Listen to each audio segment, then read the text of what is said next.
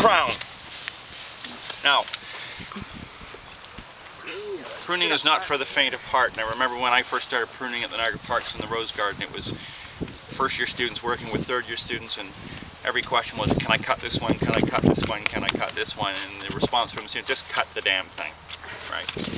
So there's not much you can, you can do, or you can go wrong. This one, three to five canes, three to five buds, right? Open center. And you're gonna have to make some decisions.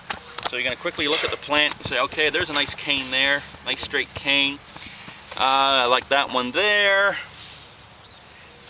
I like that one. I'm going to leave four canes, I think, here. So, I'm going to get rid of that one first. Why would you leave that one in the middle, Mike? When you're Uh, well, I'm not finished. Oh, well, well, I'm not finished yet.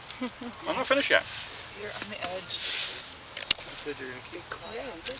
No, this one. Ew, dirty. Gross. I'm gonna get rid of that one. Well, I'm gonna change my mind as I go.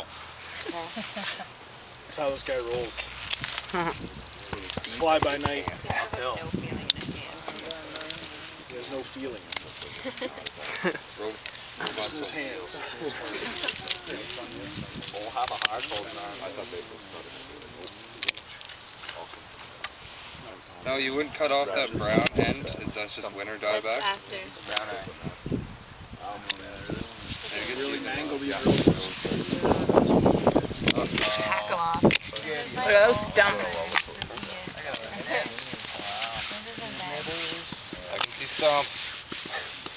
That's a crown. Oh yeah. Oh. No, I Crown. believe you. Oh, that's a dog flag. 22. Wait, but it's critical. It's critical with roses because they're very thin-skinned, barked. That you don't get anything because if you if you damage the bark, you're going to get a canker. Right? So I've got one, two, three, four. I've got five here. Eh.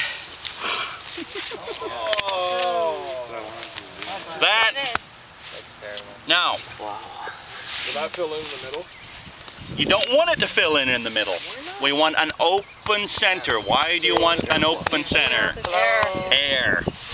I do the five like a set of dice.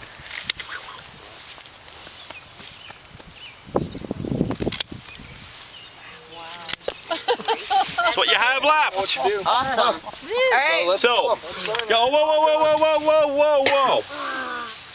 V shape, branches going out, last buds going out, open center, no stops.